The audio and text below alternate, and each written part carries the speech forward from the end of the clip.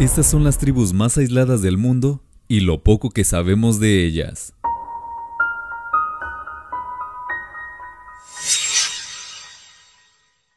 Las heridas del pasado, la explotación ambiental y la sed de autonomía respaldarían su marginación. La paradoja es notoria, la globalización incluye, pero también excluye. En un mundo interconectado por las nuevas tecnologías, la sensación de que todos los seres humanos están unidos ha resultado natural en los países más acomodados. Sin embargo, la realidad general es distinta. A lo largo de los más de 510 millones de kilómetros cuadrados de la Tierra existen poblaciones que, por decisión propia o empujadas por el contexto, se mantienen al margen de la civilización general. Tal es el caso de ciertas tribus que han hecho de aislamiento su mejor medio de supervivencia. Estos son los grupos sociales menos conectados del planeta. Los sentineleses. La tribu aislada de la que mayor información se ha intentado recopilar es la de los sentineleses. La lupa se puso sobre este grupo después de que, en el 2018, se conociera que un joven estadounidense había muerto, supuestamente por el impacto de las flechas de uno de sus integrantes. Lejos de ser un hecho esclarecido del todo, los sentineleses, ubicados en las Islas Andamán, en India, han destacado desde hace decenas de años por su marginación de la población general. Tal es su nivel de incomunicación que, a la fecha, todavía no hay claridad sobre qué idioma hablan ni cuántas personas habitan su territorio. Sobre su origen, la hipótesis más aceptada es que llegaron de África hace cerca de 60.000 años. Desde entonces, se ha dicho su repulsión hacia otras poblaciones se ha manifestado en ataques con flechas y lanzas a quienes desean llegar hasta su territorio. De hecho, según ha reportado la prensa de India, llegar hasta la isla donde residen es ilegal.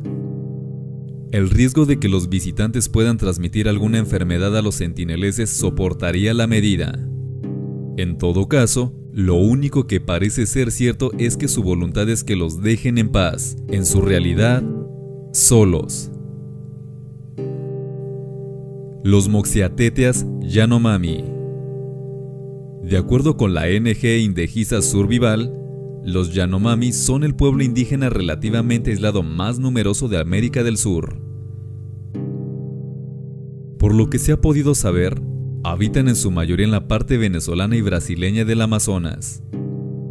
Históricamente, así como otros grupos étnicos de Sudamérica, fueron víctimas de la fiebre del caucho que azotó la región a finales del siglo XIX y comienzos del XX.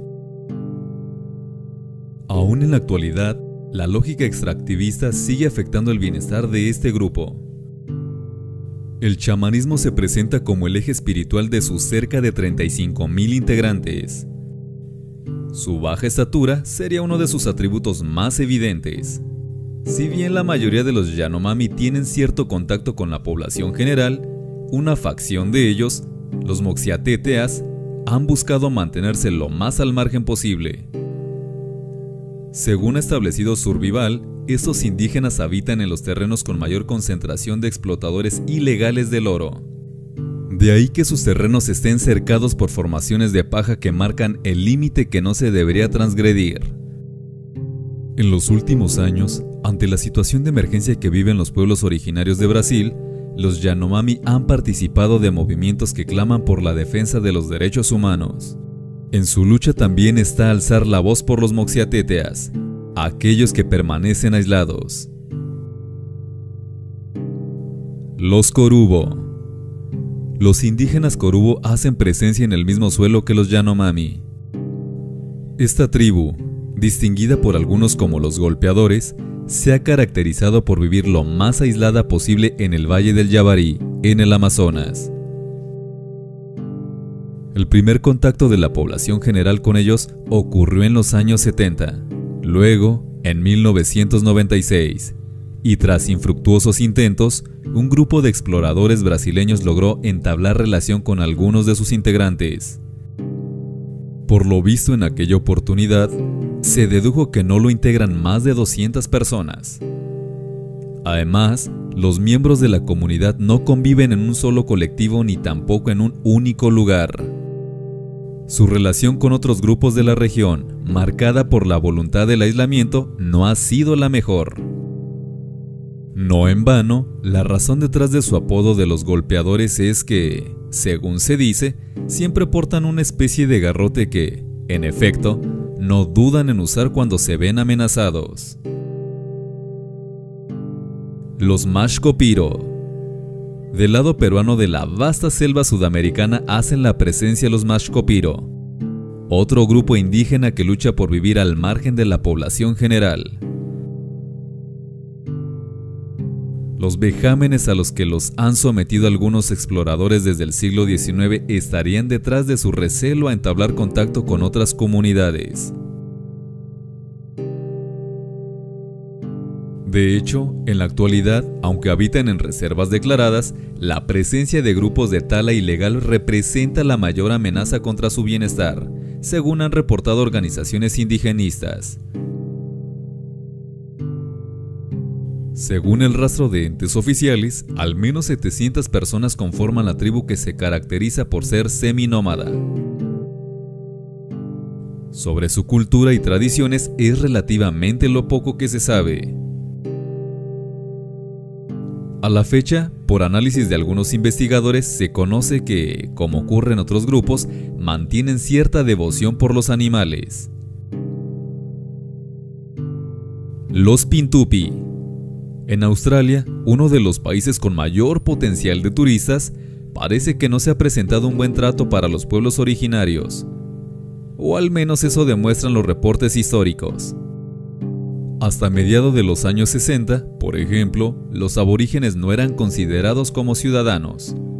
Incluso en la actualidad, bajo un entorno medianamente pluralista, varias figuras locales no se ahorran comentarios ofensivos contra el 3% de los pobladores autóctonos del país. Entre los pueblos más afectados por la discriminación sistemática están los Pintupi, un grupo del que no se sabe mucho. Sin embargo, hay un dato estremecedor.